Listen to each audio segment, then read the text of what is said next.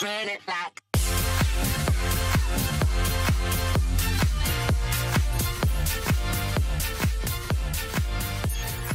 Hey guys, welcome to Adventure Gaming HQ, and today we're going to be doing a full review and tutorial on the application called Vidyo. Video, not not video, video.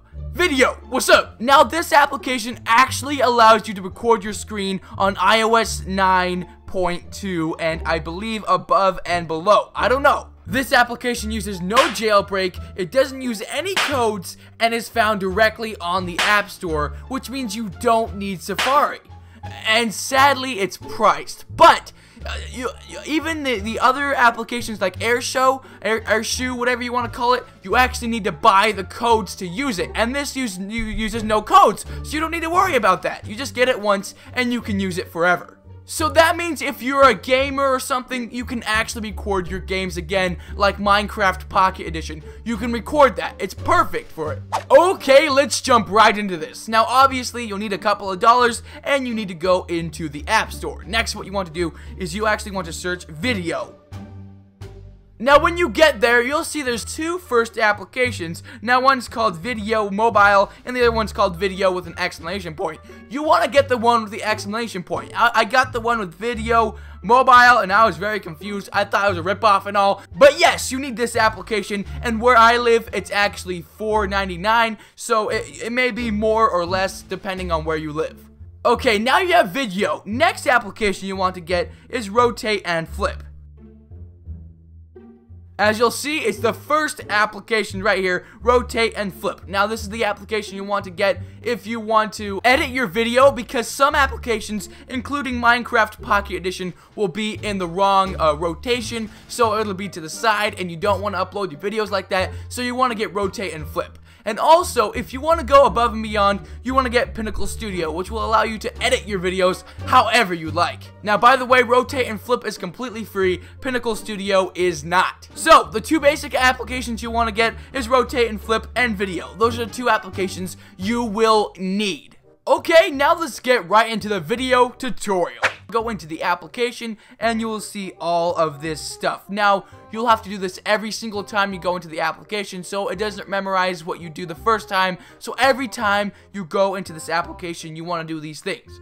First of all, you can see this first section, audio source. Now you can have device audio and iPad microphone. Now, if you want to record your, your the uh, device, like the sounds that's coming out of the device directly into the video, I don't know how to explain it. You'll just have to try it out for yourself and see what I mean. Next, there's video source, which has three different options, and actually all the options can be picked at once. So now we can have device screen, back camera, and front camera. Now, since we're recording our device, we would pick the first one, the device screen. Next, we could have output options. Now, you could have device resolution and device max frames per second, which is FPS. Now, the device resolution actually depends on whether or not you're like a big time YouTuber and if you want to put out really high quality videos, you you uh, keep 1080p, which will make it look really, really crisp and it'll look sharp and everything. But uh, 720, it'll also look good, but it won't look as good. It won't look crisp and sharp, but it'll still look good. And then 540 and 360 are like if you don't have enough space on your device and and you you don't you just don't have that space to make those good quality videos. Next is FPS. Now, if you pick 60 FPS, the uh, resolution will actually get kind of grainy and everything. So I like doing 30 uh, because it won't be as grainy and like uh, laggy because uh, 60 is like taking in a lot of information and uh, it's just doing half 30 is half and it won't look it won't look bad at 30 30 is actually pretty good it's, it's not a bad resolution Okay, you have everything selected and you're ready to go. Next, what you want to do is you want to press start. Now, let's say you press start and it says error loading NULL or something like that. All you have to do is close the application and go back in. Very, very simple. Don't, don't freak out about it. It's just a small little error. This next step is actually being recorded by a real camera because when I try to record with my screen recorder, it actually crashes the recording. So I'm just going to record with my camera and we're going to see how this goes. Now, to start the recording, you want to press start, obviously, and now you can see this thing that just gives you a whole bunch of instructions. This is what I read through to uh, learn this. It was kind of hard at first, as I said, but I got the hang of it. So you don't really need to uh, read through this because I'm teaching you guys how to use it right now. Now what you want to do is you want to press done, and now it'll give you this. Leave this on your screen. Whenever I uh, back out of this, it doesn't work. Now what we want to do is we want to go into any application we want to go into. Right now I'm going to go into uh, Minecraft Pocket Edition. As I said, it can be any application, so it does not have to be this application specifically. Now, to get your recording started, what you need to do is you need to slide up your screen like this. Next, what you want to do is you want to tap on this airplane th uh, AirPlay thing right here. Now you can see these options. Now you just want to look for this option, Vidyo, right here, Vidyo. Now it'll you'll hear you'll hear a ding, just like that, a ding. And then now what we need to do is we need to get out of it. And whenever you hear that ding, that means that it is actually recording. So right now, it is recording my screen, everything I say. So now let's say you're done with your recording. You did everything you need to do. Now you want to get out. What you need to do is you need to do the exact same thing except opposite. You want to go into here, tap on this, and then you want to tap on iPad speaker, iPhone speaker, iPod speaker, whatever you have, just this thing with this symbol. Now what you want to do, tap on that, and let's say recording stopped, and now you can go back into the application, and this will still be here. You just press done, and there it is ended session and it'll say that it actually saved to your camera roll and when you first do this it'll, it'll ask you if it can go into your camera roll go ahead and say yes and then just allow it and now let's see if it's actually in our camera roll and as you'll see it's a really weird uh orientation, which is why we got that flip application. Yeah, you can see it's like that. And also, when you try to scrub through it and everything like this,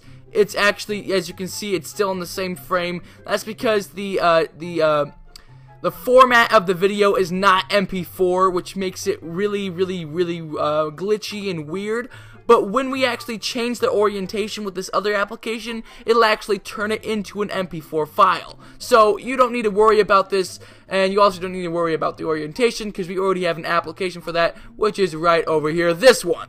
Also, I want to say that when you're recording with Vidyo, it may accidentally, like, say that it didn't save to the camera roll, even though it did. So, when you're done with your recording, and it just said, it just doesn't say anything, before you record again because you think it messed up, check your camera roll and see if it's there. I just want to say that, and now we're going to learn how to rotate the orientation of our video and change its format while doing so. So, we're going to open the application, rotate and flip that we got a little while ago, and now we can see our application right here tap or not our application our, our video and now you can see this uh, so you can see it's playing through the video we want to tap this choose button right here choose and then now we have all these different controls we're gonna orientate it until it does this and there we go now we can press save right here press save there we go. And now we're to have these two uh, options. We want to tap the top option. And there you go. Now it's to save to your camera roll. And you're to be all good.